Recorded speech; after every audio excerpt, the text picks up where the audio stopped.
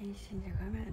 Hôm nay mình sẽ hướng dẫn các bạn tô màu bức tranh à, Hai bố con, một bạn nhỏ đang à, đi đánh bắt cá này Đang vọt được một con cá.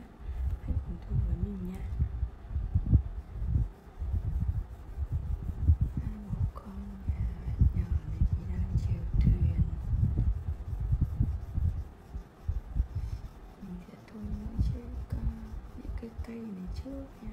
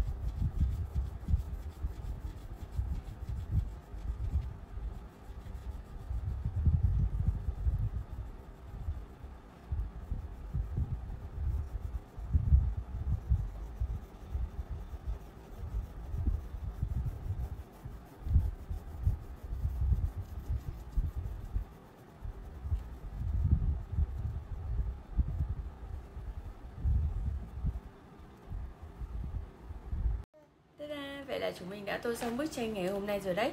Các bạn hãy cho mình biết ý kiến của các bạn về bức tranh này nhé Video của mình xin được kết thúc ở đây. Hẹn gặp lại các bạn ở những video hướng dẫn tô màu lần sau nhé Các bạn cũng đừng quên nhấn like và đăng ký kênh ủng hộ mình nữa nha. Bye bye.